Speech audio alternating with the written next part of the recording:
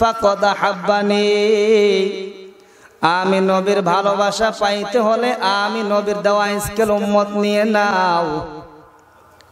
আমি নবীর মহাব্বত পাইতে হলে আমি নবীর সুন্নতকে আঁকড়িয়ে ধর। যারা আমার সুন্নতকে আঁকড়িয়ে ধরবে, যারা আমার দেওয়া সুন্নাত অনুযায়ী জীবন যাপন করবে, খাবার খাওয়ার সময় নবীর সুন্নত। ঘুমানোর সময় নবীর সুন্নত। সর্বহালতে আমি আমার নবীর সুন্নাত অনুযায়ী চলবো। আল্লাহ রসুল বলেন যে আমি নবীর সুন্নাত অনুযায়ী চলবে। সে আমি নবীর মহাব্বতকেই অন্তরে ধারণ করল। আর যে আমার মহাব্বত অন্তরে রাখবে, আমি নবীর ওয়াদা হলো হাসরের ময়দানে আমার সাথে জান্নাতের মেহমান হয়ে যাবে।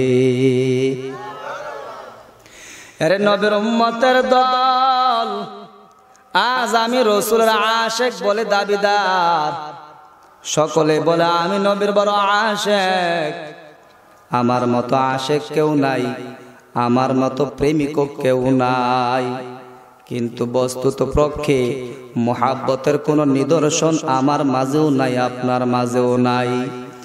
আমার নবী বলে, আমাকে যারা মহাব্বত করবে, তারা আমি নবীর সাথে গাদ্দারি করবে না।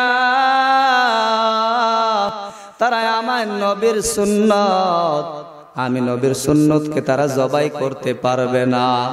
তারা হারাম খাইতে পারবে না, দাড়ি সারতে পারবে না। গান বাজনা শুনতে পারবে না, বেপরদায় চলতে পারবে না।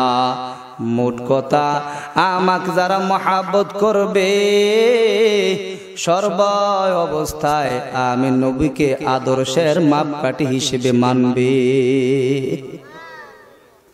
এরে নবীর উম্মতের দল, এরে ভাই, পর্দার আড়ালের মা আল্লাহকে মহাব্বত না করে উপায় নাই। আল্লাহকে মহাব্বত করা সকলের জন্য অত্যাবশ্যকীয়। মাওলার সাথে সম্পর্ক করা সকল বান্দার জন্য দরকার। যার সম্পর্ক মাওলার সাথে নাই, তার কোনো উপায় থাকবে না। দুনিয়াতে আসছি মাওলার গোলামি করার জন্য। বন্দেগি কোন বন্দেগি কোন, বন্দেগি? জিন্দেগি বে বন্দেগি, শর্মেন্দেগি। এরে নবীর উম্মতের দল, যার জীবনে বন্দিগি নাই, তার দুনিয়াতে আসার কোনো দামও নাই। যার জীবনের বন্দিগি ঠিক, তার অবদিয়তের মাধ্যমে আল্লাহর সাথে সম্পর্ক হয়ে যায়। যারাই আমার মাওলার বড় পাগল তারা খাওয়ার মধ্যে মাওলাকে তালাশ করে, তারা ঘুমের মধ্যে মাওলাকে তালাশ করে। যারা আল্লাহর পাগল হয়, তারা জমিনে যেখানে যায়, যেখানে ঘুরে, সর্ব জায়গায় আল্লাহ পাওয়ার মহাব্বত নিয়ে চলতে থাকে। আর যারা আল্লাহর পাগল হয় না, তারা দুনিয়ার পিছনে ঘুরে। দুনিয়ার পিছনে যারা ঘুরে, তারা আল্লাহ পায় না। আল্লাহকে যারা পেতে চায়, তারা দুনিয়া তালাশ করতে পারে না। এজন্য সর্ব অবস্থায় যেখানে যাইব, যেখানে চলব, সর্ব অবস্থায় মাওলাকে তালাশ করব। পারবেন না ইনশাল্লাহ কাকে চাই আমরা? আল্লাহ ছাড়া কোনো মালিক আসেনি। এজন্য গোলামিকার মনে থাকবে তো? আল্লাহ ছাড়া কারও গোলামি আমরা করি না।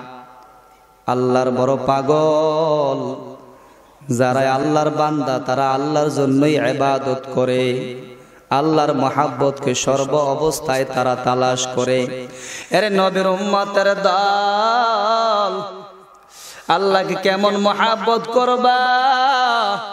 যারা আল্লাহর মহাব্বত নিয়ে জমিনে চলে তারাই আল্লাহর হুকুমের বাহিরে চলতে পারে না, তারা নামাজ সারতে পারে না তারা আল্লাহর সাথে কুফুরি করতে পারে না, তারা শিরিক করতে পারে না, বেপরদার জিন্দিগি চালাতে পারে না, নিজেও বেপরদায় চলে না, নিজের বিবিকেও বেপরদায় রাখে না, নিজের মেয়েকেও বেপরদায় রাখে না, নিজের বোনকেও বেপরদায় রাখে না এর নবীর উম্মতের দল। এই জন্য সব সময় মাওলার মহাব্বত নিজ জমিনে চল। যারা আমার মাওলাকে পেয়ে গেছে, তারা সব পাইছে। যারা মাওলার মহাব্বত পায় নাই, তারা কোনো কিছু পায় নাই রে যুবক। এজন্য সব সময় মাওলার মহাব্বত তালাশ কর। মাওলার মহাব্বত পাইতে হলে মাওলার হুকুম মানিয়ে চলো। কি করে মাওলার মহাব্বত পাইবা? বলে মাওলার মহাব্বত পাওয়ার জন্য আল্লাহর রসুলের মহাব্বত প্রয়োজন। আল্লাহ রসুলের মহাব্বত পাওয়ার জন্য রসুলের সুন্নাতের প্রয়োজন। যারা পায়গাম্বরের সুন্নাতকে মানে তারা আল্লাহ রসুলকে মহাব্বত করে। যারা রসুলকে মহাব্বত করবে, আল্লাহ বলেন তারা আমি আল্লাহকেই ভালোবাসে। তাহলে আমরা সকলে বুঝলাম, আল্লাহর ভালোবাসার জন্য, আমার জন্য সবচেয়ে বড় মাপকাঠি হলো আমার নবীর ভালোবাসা। আর নবীর ভালোবাসার মাপকাঠি হলো রসুলের সুন্নতের ইত্তেবা, ঠিক কিনা জোরে বলেন। এখন তো আপনার বড় বড় পীর বাহির হইছে বড় বড় মুর্শেদ, নামে বড় পীর, কাজ কর্মে পীর ও সুন্নত অনুযায়ী চলে না, মুরিদদেরকে সুন্নতের বয়ান করে না। বর্তমানে দেখা যায় মাহফিলের মধ্যে অনেক বক্তারা স্টেজের মধ্যে উঠে বয়ান করা আগে দিয়ে গানের টান দেয়। গান যেই বক্তায় পারে, কণ্ঠ যেই বক্তার সুন্দর। তার বয়ানের মধ্যে অনেক মানুষ হয়। যেই বক্তা কোরআন হাদিসের কথা বলে, তার বয়ান মানুষ শোনার জন্য মোটেও পছন্দ করে না। এরে নবীর উম্মতের দল, আমাকে দেখতে হবে কোরআনের মধ্যে, হাদিসের মধ্যে যে আমলগুলো আছে, ওইগুলো টার্গেটে আনিয়া নিজের জীবন গড়ার মতো বয়ান যারা করে তারা আমাকে দিক নির্দেশনা দেবে আর যারা গান গাইবে যারা আপনার শুধু সুরের পিছনে চলবে তাদের জবান দ্বারা কোরআনের কথা সহজেই বাহির হইতে চায় না অনেক বক্তার আছে স্টেজে উঠে গান ওই আমার মুর্শিদ ওই আমার মুর্শিদে আছে না নাই? ওইটাই আপনার গায়ে। বটবৃক্ষের নিচে গেলাম, ছায়া পাইবার আসে ডাল ভাঙ্গিয়া রুদ্র লাগে, আপন কর্ম দোষে ফয়জি। তোর লাইগা রে, তোর লাইগা রে। আমার অঙ্গ জর জয়র মনে লয় উড়িয়া যাইতাম ভাঙ্গা বাড়ি ঘর মুর্শিদ। তোর লাইগা রে ও, আছে না নাই?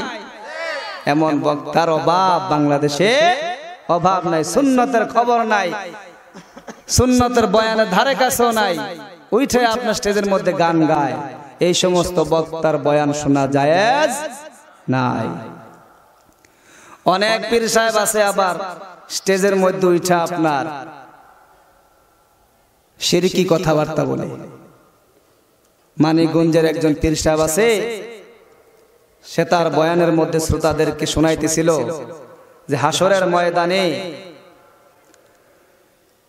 বন্দার সাথে আল্লাহর তর্ক হবে। আর ওই তর্কের মধ্যে বান্দারা আল্লাহকে হারাইয়া দিবে। আল্লাহ কুলাইতে পারবে না বান্দার সাথে না আউজুবিল্লা বলেন। বলেন, এই পীর সাহেবের ইমান আছে না গেছে? ইমান আছে? আবার ওনার স্টেজে বসাইয়া ওনার মরিদ একটা গান গাইতেছিল। কেরমান কাতিবিন, রোজ হাসরের দিন, আল্লাহর কাছে যদি করে অভিযোগ, আমি বলব, দুনিয়ায় ছিলাম মানিকগঞ্জের লোক। নাউজুবিল্লাহ বলেন। কেরমান কাতিবিন পাইবে যে দিন। তোরা যারা ছেলে মানিকগঞ্জের লোক তোদের জোতা মাইরা কইব জাহান নামে ঢো ঠিক না যদি গজলটা এমন হয়তো কেরমান কাতিবিন রোজ হাসরের দিন। কাছে যদি করে অভিযোগ আমি বলব দুনিয়ায় ছিলাম মোহাম্মদের লোক। সাল্লাল্লাহু আলাইহি ঠিক না আমরা কার সৈনিক?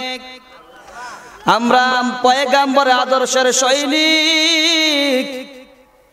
এজন্য যুবক ভাই, এরে পর্দার আড়ালের মা, আমাকে দেখতে হবে আমার আল্লাহ আমার প্রতি রাজি কিনা?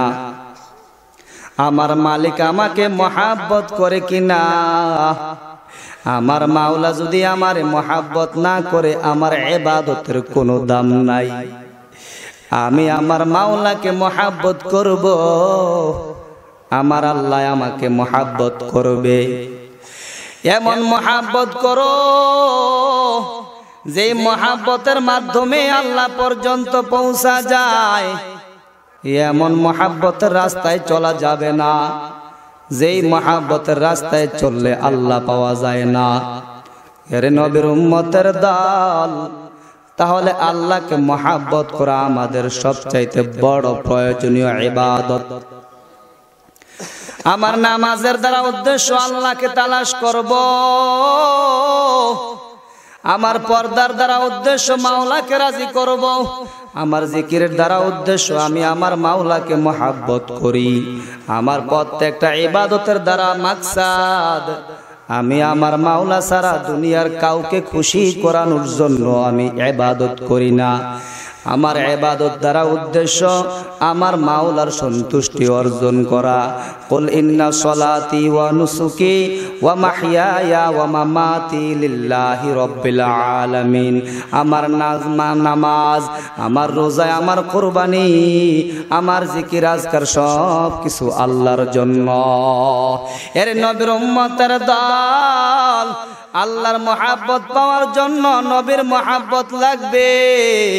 নবীর মহাব্বতের জন্য রসুলের সুন্নাত লাগবে। রসুলের সুন্নাতকে তুমি যদি ঠিক মতো আদায় করতে পারো, তাহলে তুমি রসুলের মহাব্বত পাইবা। আর যদি রসুলের সুন্নাত অনুযায়ী না চলতে পারো, তাহলে আমার দ্বারাও, আপনাদের দ্বারাও রসুলের মহাব্বত অর্জন করা সম্ভব না। এরে আল্লাহর বান্দা, পয়গাম্বরের মহাব্বত বললেই তো হয় না। মহাব্বত জবান দ্বারা বলার বিষয় নয়। মহাব্বত কাজে কর্মে দেখাইতে হয় যে আমি আপনাকে মহাব্বত করি। আমি বললাম, এ দুনিয়ার মানুষ, আমরা একজন অপরজনকে মহাব্বত করি বলে দাবি করি। বলে জবান দ্বারা বললেই হবে না। তুমি আমাকে যে মহাব্বত করো, কাজে কর্মে প্রমাণ করে দেখাও। মুখ দ্বারা বললেই ভালোবাসা হয় না, রসুলের ভালোবাসার দাবিদার বললেই তুমি মাহাব্বতকারী হবে না। রসুলের খাটি আশেক হইতে হলে আমি আপনাকে সর্বদা সুন্নতের এত্তেবা করতে হবে। মহাব্বত করার মতো করতে হবে। কেমন মহাব্বত? পাহাড় পর্যন্ত আমার নবীকে মহাব্বত করত। উহুদ পাহাড় আমার নবীকে মহাব্বত করেছে। জানোয়াররা পর্যন্ত আমার নবীর জন্য বড় পাগল। দুনিয়ার সব মাখলুক আমার নবীর মহাব্বতের জন্য বড় পাগল। আমার নবী যখনই মদিনা থেকে বাহির হইতেন, পয়গাম্বর এমন একটা রাস্তা দিয়া বাহির হইতেন, যেই রাস্তা দিয়া উহুদ পাহাড় নজরে চলে আসতো। কারণ পয়গাম্বর যখন আপনার মদিনা থেকে বের হওয়ার সময় উহুদ পাহাড়ের পাশে দিয়া যাইতেন, উহুদ পাহাড় দেখা দিলের মধ্যে বড় মজা পাইতো যে পয়গাম্বর যাইতেছে। একদিনের ঘটনা, পয়গাম্বর মদিনা থেকে বাহিরে হইলেন। পয়গাম্বর বের হওয়ার পর কাজ সম্পন্ন করে। সাহাবিদেরকে নিয়ে যখন মদিনায় ঢুকবেন, সব সময় মদিনায় ঢুকার সময় উহুদ পাহাড় নজরে আসে, এমন রাস্তা দিয়ে ঢুকতেন।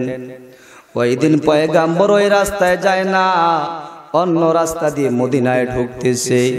সঙ্গে সঙ্গে জিব্রুলাই হাজির ডাক দেয়া বলে, রে পয়গাম্বর আপনি এই রাস্তায় মদিনায় ঢুকবেন না, আপনার মহাব্বতে উহুদ পাহাড় কান্নাকাটি শুরু করছে। পয়গাম্বর গো, আপনাকে দেখে না বলে পাহাড় পর্যন্ত কান্নাকাটি করতেছে। পয়গাম্বর সাহাবিদেরকে নিয়া আবার সেই উহুদের পাশের রাস্তা দিয়ে চললেন। উহুদ পাহাড়ের পাদদেশে যাওয়ার পর পয়গাম্বর সাহাবিদেরকে লক্ষ্য করে বললেন, হাজা উহুদ ইউহিব্বুনি ওয়া উহিব্বুহু। ও আমার সাহাবীরা, এটা হইল উহুদ পাহাড়। আমি নবী এই পাহাড়কে মহাব্বত করি। আর উহুদ পাহাড় ও আমি নবীকে মহাব্বত করে, সুবহানাল্লাহ। এর নবীর উম্মতের দল। পাহাড় যদি আমার নবীকে মহাব্বত করতে পারে আমি উম্মত হয়ে কি নবীকে মহাব্বত করতে পারব না? আমার কি নবীর প্রয়োজন নাই? আমার কি পয়গাম্বরের মহাব্বতের দরকার নাই? আমারও তো দরকার পয়গাম্বরের মহাব্বত অর্জন করা। যতক্ষণ পর্যন্ত নবীর মহাব্বত দিলে না আসবে, ততক্ষণ পর্যন্ত আল্লাহর মহাব্বত অন্তরে হাসেল হবে না। আল্লাহর মহাব্বত পাওয়ার জন্য আমি আপনাকে আল্লাহর রসুলের সুন্নাতের মহাব্বত অবশ্যই করতে হবে। শুধু মহাব্বত করলেই চলবে না, সুন্নাত অনুযায়ী নিজের জীবন যাপন আপনার দেখাতে হবে। যে আল্লাহ, আমি খাওয়ার সময় আপনার নবীকে ভুলি না। আমি খাওয়ার সময় দস্তরখানা বেছাইয়া খাবার খাই। ঘুমের সময় আমি আমার নবীকে ভুলি না। ঘুমের সময়ও আল্লাহ আপনার পয়গাম্বরের সুন্নাত অনুযায়ী ঘুম যায়। আল্লাহ অর্থনৈতিক জীবনে টাকা পয়সা কামাই করার ক্ষেত্রে নবীর আদর্শকে ছাড়ি না। পয়গাম্বরের আদর্শ অনুযায়ী আমি চাকরি করি, ব্যবসা করি তাহলে আমি আর আপনার রসুলের খাঁটি আশেক হতে পারব, ঠিক কিনা জোরে বলেন? এর নবীর উম্মতের দল পয়গাম্বরকে গাছ গাছালি থেকে শুরু করে নিয়ে সমস্ত মাখলুক কেমন মহাব্বত করছে জানো? পয়গাম্বর মসজিদ নববীর মধ্যে একটি গাছের সঙ্গে দাঁড়াইয়া খুতবা দিতেন। মরা একটু খেজুর গাছ। ওই খেজুর গাছের সাথে হেলান দিয়া পয়গাম্বর খুতবা দিতেন, বয়ান করতেন। একদিন এক মহিলা পয়গাম্বরের দরবারে সে হাজির হয়ে পয়গাম্বরের দরবারে আরজ করল, ওগো পয়গাম্বর, আপনি অনুমতি দিলে এই দেখেন আমার একজন অভিজ্ঞ কাঠ মিস্তুরি আছে। তাকে আমি নিয়ে এসেছি। আপনি অনুমতি দিলে আপনার জন্য আমি একটি মেম্বার বানিয়ে দেব। আপনি ওই মেম্বারের উপর চড়ে বসে উম্মতের জন্য হেদায়েতের কথাগুলো বলতে থাকবেন। পয়গাম্বর দেখলেন যখন মহিলার আগ্রহ, অনুমতি দিয়া দিলেন, যাও, ঠিক আছে, মেম্বার বানিয়ে নিয়ে আসো। এবার ওই মহিলা পয়গাম্বর অনুমতি পাওয়ার পর কাঠ মিস্ত্রি তার অভিজ্ঞ অভিজ্ঞ কাঠ মিস্ত্রির মাধ্যমে এবার একটি মিম্বার বানাইয়া নিয়ে আসছে মসজিদে নববীর মধ্যে। পয়গাম্বরকে বলে, পয়গাম্বর, আপনার জন্য এটা বানানো হয়ে গেছে, কোথায় রাখব? পয়গাম্বর বললেন, এই মিম্বারটাকে খেজুর গাছের সামনে রেখে দাও এখানে স্থাপন করো। যখন মেম্বারকে রেখে দেওয়া হয়, পয়গাম্বর যখন খুতবা দেওয়ার জন্য মেম্বারে চড়বেন। মসজিদের মধ্যে ওটার হ্যান হানানির মতো, ওটার বাচ্চা মার জন্য যেভাবে হ্যান হ্যান করিয়া কান্নাকাটি করে ক্ষুদা লাগলে, ওইভাবে পুরা মসজিদের মধ্যে কান্নার আওয়াজ। পুরা মসজিদের মধ্যে কান্নার আওয়াজ। পয়গাম্বর খেয়াল করে দেখলেন, মরা খেজুর গাছটা কান্না করতেছে। মরা খেজুর গাছ কান্না করে বুখারে শরীফের মধ্যে ঘটনা সম্পূর্ণ বয়ান। আপনার হাদিস নিয়ে আসা হয়েছে। এর নবীর উম্মতের দল হজরত আবদুল্লাহ ইবনে আব্বাস রাদিয়াল্লাহু তাআলা আনহু বলেন, না, ওটের বাচ্চার মতো নয়, মানুষের কান্নার মতো খেজুর গাছ কান্নাকাটি করা শুরু করল। খেজুর গাছের কান্নার কারণে পয়গাম্বর এক রয়েতের মধ্যে আসছে। খেজুর গাছের কান্নার কারণে পয়গাম্বর মিম্বার উপর চড়িয়া পিছনের দিকের খেজুর গাছের দিকে এইভাবে সিনা ফিরিয়া পয়গাম্বর ডাক দেয়া বললেন, খেজুর গাছ, তোমার কান্না বন্ধ করে দাও। আরেক রওয়ায়াতে আসছে। পয়গাম্বর যখন খেজুর গাছের কান্নার আওয়াজ শুনতে পাইলেন, খেয়াল করে দেখবেন আবু বকর কাঁদে, উমর কাঁদে, উসমান কাঁদে। সমস্ত মুসল্লিরা মসজিদে কাঁদে, কান্নার আওয়াজ। কান্নার কারণে পুরা মসজিদের মধ্যে কান্নার রোল। কান্নার কারণে পয়গাম্বর আর মিম্বারের মধ্যে চড়লেন না।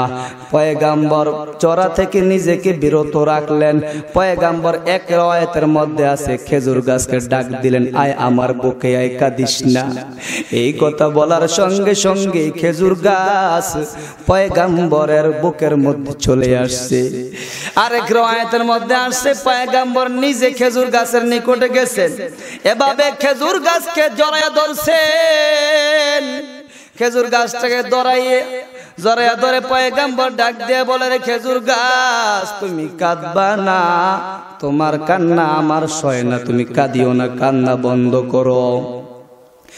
মা যখন তার সন্তান কাঁদে মা সন্তানকে এমন ভাবে জড়াইয়া ধরে আদরের সাথে যতক্ষণ পর্যন্ত সন্তান তার কান্না বন্ধ করে না, ততক্ষণ পর্যন্ত জড়াইয়া ধরে আদর করে।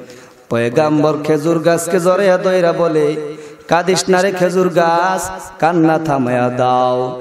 আমি তোমার জন্য দোয়া করব। আল্লাহ যেন তোমারে আবার জিন্দা বানায়া দেয়। মিন এজাজিন নবী সাল্লাল্লাহু আলাইহি ওয়া আলিহি ওয়া সাল্লাম তুমি আমার জীবিত হইবা, জীবিত হওয়ার পর এই মসজিদ নববীর কর্নারে কিয়ামত পর্যন্ত দাঁড়ায়া থাকবার খেজুর দিবা। কিয়ামত পর্যন্ত যত মানুষ আমি পয়গাম্বর জিয়ারতে আসবে, তোমাকে দেখবে, তোমার ফল তারা বক্ষণ করবে। খেজুর গাছ কান্না থামায় না খেজুর গাছ তারপরও কান্নাকাটি করতেছে।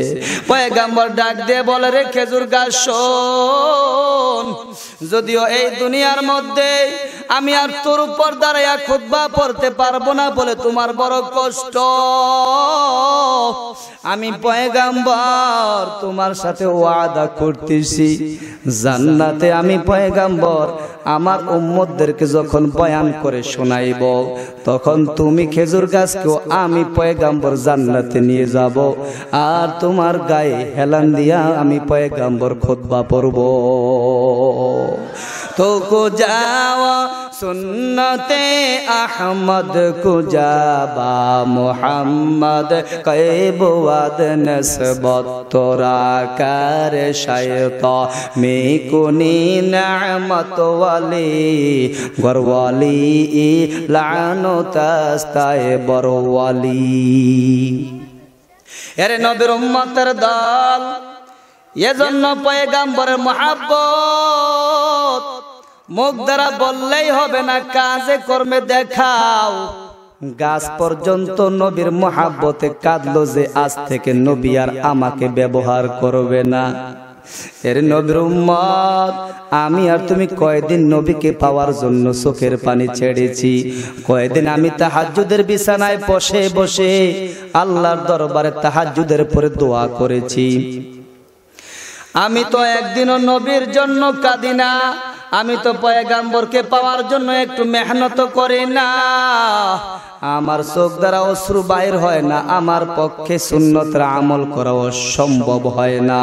যতক্ষণ পর্যন্ত আমি সুন্নাত অনুযায়ী আমল না করব, ততক্ষণ পর্যন্ত আমার সম্পর্ক পয়গাম্বরের সাথে হবে না। যতক্ষণ পর্যন্ত আমার সম্পর্ক পয়গাম্বরের সাথে হবে না, ততক্ষণ পর্যন্ত আল্লাহর সাথে আমার সম্পর্ক কোনো দিন হবে না, ঠিক কিনা?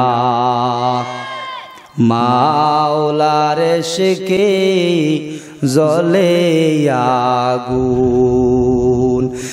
নিবাইলে যে নিভে নায়া পুরে পুরে ছাই হইল এই যে পাগলের সিনামাওলার শেখে জলে আগুন। নিভাইলে যে নিভে পোড়ে পোড়ে চাই হইল এই যে পাগলের সিনা পোড়ে পোড়ে চাই হইল এই যে পাগলের সিনা। মাওলা তো মায় ভালোবেসে,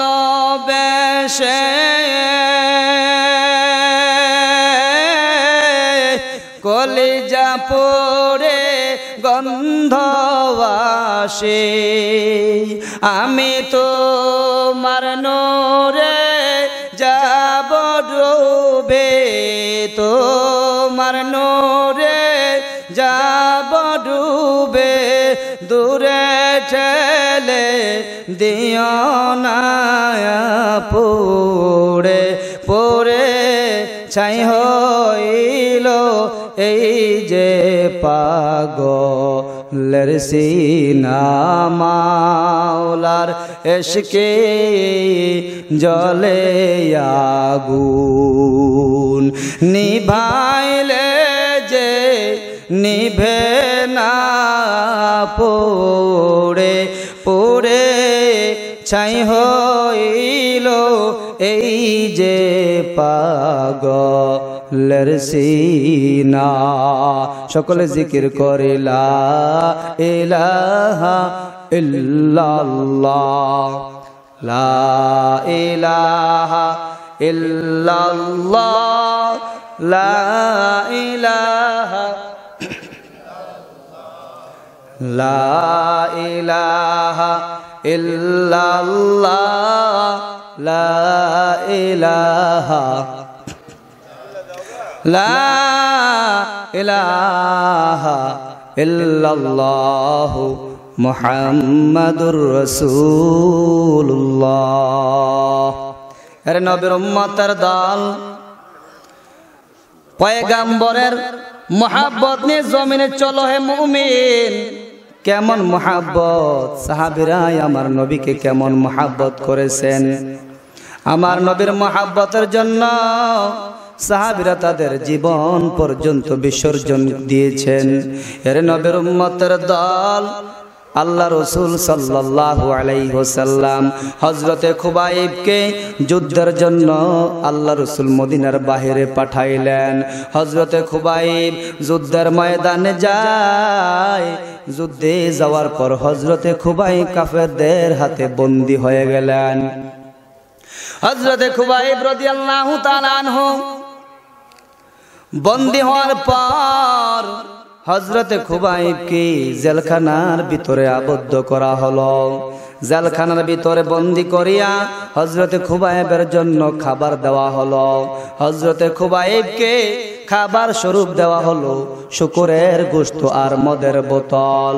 এর নবীর উম্মতের দল হজরতে খুবাইব রদি আল্লাহ তালানহু খাবারের দিকে খেয়াল করিয়া দেখলেন খাবার দেওয়া হয়েছে, শুকুরের গোস্ত আর মদ। এই খাবার দেখে আল্লাহকে ডাক দিলেন রে মালিক, তুমি জানো আমি খুবাই হারাম খাবার খাই না। আমি তো রসুলের আদর্শের সৈনিক, পয়গাম্বরকে মহাব্বত করি। যারা পয়গাম্বরকে মহাব্বত করে তারা কোনো দিনও হারাম খাবার খাইতে পারে না, সুদ খাইতে পারে না গোশ খাইতে পারে না, হারাম খাবার পেটে দেয় না। কারণ হাদিসের মধ্যে আসছে লাইয়াদ খুলুল জান্নাতা জাসাদুন গুজিয়া বিল হারাম। যেই দেহকে লালন পালন করা হয়, হারাম খাবার খাওয়াইয়া আল্লাহ রসুল বলেন, ওই দেহ কোনো দিনও জান্নাতে প্রবেশ করবে না। হজরতে খুবাইব ডেকে বলে, ও আল্লাহ, আমি তো শুকুরের গুষ্ট জীবন চলে গেল খাব না, মদও খাব না। এই কথাটা যখন বলছে মনে হয়, আল্লাহ তাআলা ডাক দিয়ে বলছে, খুবাইব, চিন্তা করো না, তোমার জন্য জান্নাতের খাবার। হজরতে খুবাইব আল্লাহ তাআলা আনহু বসে বসে জান্নাতি খাবার খায়। এই দৃশ্যটা একটা বিধর্মী নারী খেয়াল করে দেখছে যে ওনাকে তো ফল দেওয়া হয় নাই, ওনাকে তো হারাম খাবার দেওয়া হয়েছে, শুকুরের গোস্ত দেওয়া হয়েছে, মদ দেওয়া হয়েছে। উনি তাজা তাজা ফল কোথায় থেকে খায়?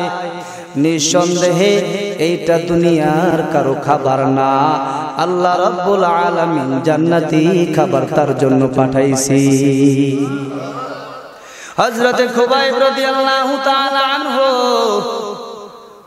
যখন এভাবে আসমানি খাবার খাইয়া নিজের জীবন যাপন করেন, জেলখানার দায়িত্বরত লোকগুলো খবর নেওয়ার জন্য আসলো খাবার খেয়েছে কিনা, আসিয়া দেখে শুকরের গোস্ত শুয়রের গোস্ত নিজের জায়গায় পড়ে আছে।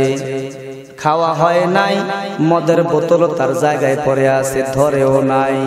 চিন্তা করল, এই লোকটা কি করে না খেয়ে এতদিন বেঁচে রইল?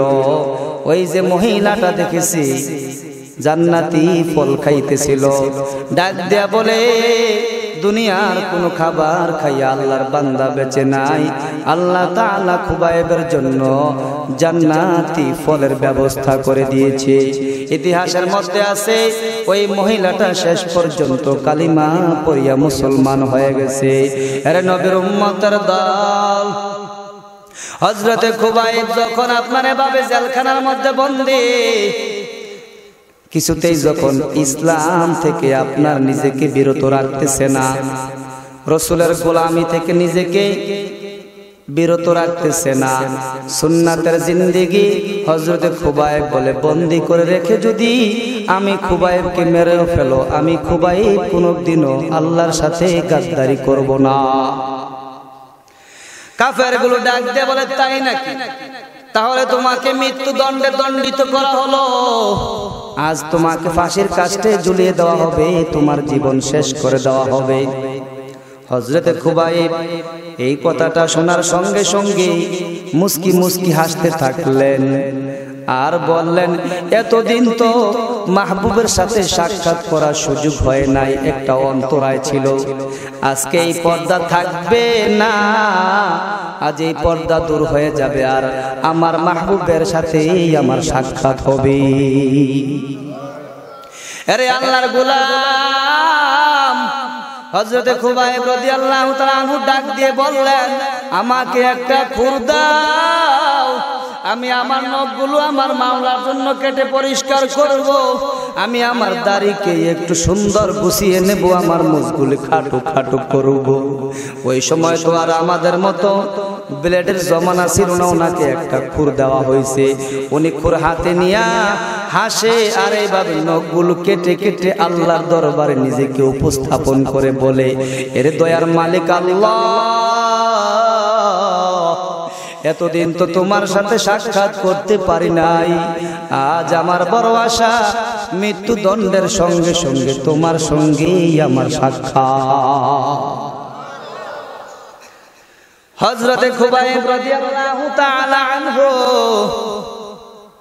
শেষ পর্যন্ত যখন নৌকাইটা পরিষ্কার পরিচ্ছন্ন হইতেছে, হঠাৎ করে দেখা গেল, দুধের একটা বাচ্চা হাউড পাইরা আপনার জেলখানার ভিতরে ঢুইকা হজরতে খুবাইবের রানের উপরে বৈশা রইছে।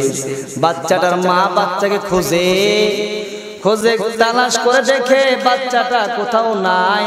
খুঁজতে খুঁজতে জেলখানা নিকটে আইসা দেখে বাচ্চাটা হজরতে খুবাইবের রানের উপরে বৈশা রইছে।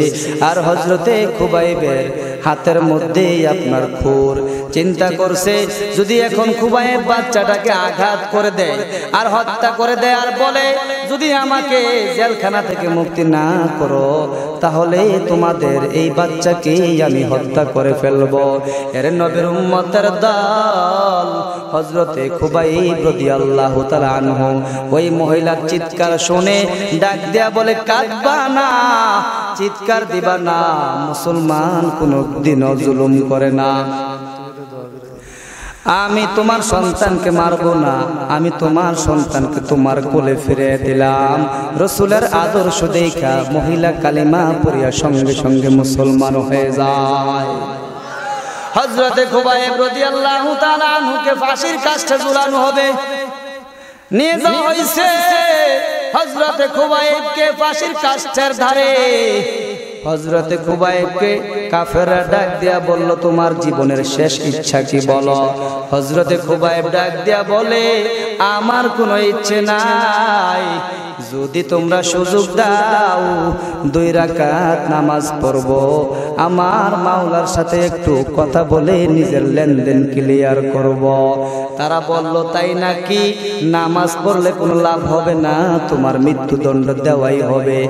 বলল, আমি মুসলমান, রসুলের আদর্শের সৈনিক, রসুলের মিশনে আসছি। মুসলমান মরণকে ভয় পায় না, মুসলমান এক আল্লাহকেই সব সময় ভয় করে। আমাকে দুই রাকাত নামাজ পড়ার সুযোগ দাও। আমি দুই রাকাত নামাজ পড়ে তোমাদের কাজে চলে আসব। অনুমতি দেওয়া হলো হজরতে খুবাই প্রতি আল্লাহ নামাজে দাঁড়িয়ে গেলেন। নামাজে দাঁড়িয়ে দাঁড়িয়ে চিন্তা করে রে মালিক, আমার তো মনে চায় পুরা কোরআনকে দুরাকাত নামাজের মধ্যে খতম করি। কিন্তু আল্লাহ যদি লম্বা নামাজ পড়ি, তারা মনে করবে, আমি মরণকে ভয় পাই। তারা আমাকে ভীতু ভাববে এই জন্য নামাজটা পরিপূর্ণ, কোরআন খতম দিয়ে করতে পারলাম না। কিন্তু মালিক, নামাজটাকে লম্বা করতে অনেক বেশি মনটা চাইতেছে। তারপরেও এই কথা চিন্তা করে হজরতে খুবাই নামাজকে সংক্ষিপ্ত করে দিলেন, মোটামুটি লম্বা করলেন। হজরতে খুবাই নামাজ শেষ করার পর বললেন, ঠিক আছে, তোমাদের কাজ করো। তারা এখন হজরতে খুবাইবকে ফাঁসির কাছে দাঁড় করাই দিছে। হজরতে খুবাইব এবার চক্ষু মোবারক দিয়ে টক টক করে চোখের পানি গুলো পড়তেছে আর হাসতেছে। কান্না করে না। কয়, এই অশ্রু ভয়ের কারণে নয়, আনন্দের অশ্রু বাহির হইতেছে। হজরতে খুবাইব ডাক দিয়ে বলে, দুনিয়ার মানুষ আমি রসুলের আদর্শের সৈনিক। লাস্তু উকতালু মুসলিমা আলা কানা লিল্লাহি যালিকা ফি যাতিল ইলাহি ওয়া ইয়াশা আলা মুমাজ্জাই আমাকে যদি মেরে তোমরা টুকরা টুকরা করে দাও, টুকরা টুকরা করল আমি খুবাইবের কোনো পরোয়া নাই। কারণ আল্লাহ চাইলে আমি খুবাইবের প্রত্যেকটা টুকরার মধ্যেই বরকত দিয়া পুরা বিশ্ববাসীর জন্য দৃষ্টান্ত স্বরূপ আল্লাহ রেখে দিবি। হজরতে খুবাইব তাআলা আনহু ওই সময় চিন্তা করে, গো পয়গাম্বর, আমার বড় ইচ্ছা ছিল জীবনের শেষ লগ্নে যখন দুনিয়া ছেড়ে অন্ধকার কবরের বাসিন্দা হব। আমি আপনার চেহারার দিকে তাকায় থাকব। আপনার নুরানি চেহারার দিকে তাকিয়া তাকায়া নিজের জীবনকে শেষ নিঃশেষের দিকে নিয়ে নেব। আমার বড় ইচ্ছে, দুনিয়া থেকে বিদায় হওয়ার সময় আপনার দিকে তাকায় তাকায় থাকব আর বলব, আশহাদু আন্নাকা রাসূলুল্লাহ, আমি সাক্ষ্য দিতেছি আপনি আল্লাহ তাআলার রসুল। আর আপনি পয়গাম্বর আমি খুবাইবের দিকে তাকায় থাকবেন। এই হালতেই আমি দুনিয়া থেকে বিদায় হব। এই আশার হৃদয়ে ছিল, আজ তো আর এই আশা পূরণ হবে না। জীবনের শেষ লগ্নে আপনাকে একটা সালাম দেওয়ার বড় ইচ্ছা। এই ইচ্ছা পোষণ করে হজরতে খুবাইব সালাম দিলেন পয়গাম্বরকে। আসসালাতু আসসালামু আলাইকা ইয়া রাসূলুল্লাহ, আসসালাতু আসসালামু আলাইকা ইয়া হাবিবাল্লাহ। এইভাবে সালামটা যখন আল্লাহ রসুলকে হজরতে খুবাইব দিলেন। সঙ্গে সঙ্গে আল্লাহ তাআলা জিব্রাইলকে ডাক দিয়া বলে, জিব্রাইল, আর দেরি করো না। আমার বান্দা আমার মহাব্বত নিয়ে দিনের কালিমাকে উঁচু করার জন্য রসুলের মিশনে এসে আজ মৃত্যুদণ্ডে নিজের জীবনকে দিয়ে দিতেছে। এর জিব্রাইল এই সময় বড় ইচ্ছায় আমার বান্দার সরাসরি আমার বন্ধুকে সালাম দিবে তার বড় ইচ্ছা। জিব্রাইল, দেরি করবা না, মসজিদ নববীর মধ্যে যাও। মসজিদ নববীর মধ্যে যে আমার নবীর কানে সরাসরি খুবাইবের সালামটার আওয়াজ পৌঁছায়া দাও। আল্লাহ রসুল সাল্লাম খুবাইব থেকে চারশত পঞ্চান্ন মাইল, চারশত পঞ্চান্ন কিলোমিটার দূরে অবস্থান করে মসজিদ নববীতে। সঙ্গে সঙ্গে যখন কানের মধ্যে আওয়াজ, আওয়াজটা শোনার সঙ্গে সঙ্গে আল্লাহ রসুল বললেন ও আলাইকাসালাম ইয়া তোমার উপরেও আল্লাহর পক্ষ থেকে শান্তি নাজিল হো আরে আল্লাহর বান্দা নবীর দল আমি দুনিয়ার যেখানেই থাকব, আমি দুনিয়ার যে প্রান্তেই থাকব। আমার নবীর মহাব্বত, আমার মহাব্বত, আল্লাহ রসুলের মহাব্বত সবসময় আমার জন্য থাকব। ঠিক কিনা? এজন্য আমরা সব সময় সব সময় দুনিয়াতে চলতে ফিরতে চিন্তা করব আমি রসুলকে যে মহাব্বত করি আমি কি আমার খাওয়ার সময় আমার নবীকে সুন্নত অনুযায়ী স্মরণ করি কিনা?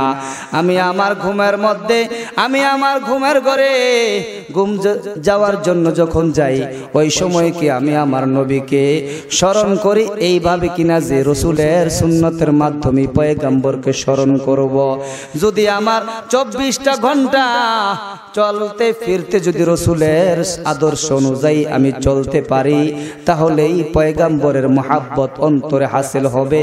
অন্তরের মধ্যে যখন আমার পয়গাম্বরের মহাব্বত আসবে, নবীও আমাকে মহাব্বত করবে। নবীকে যখন আমি মহাব্বত করব, তখন আল্লাহ আমাকে মহাব্বত করবে।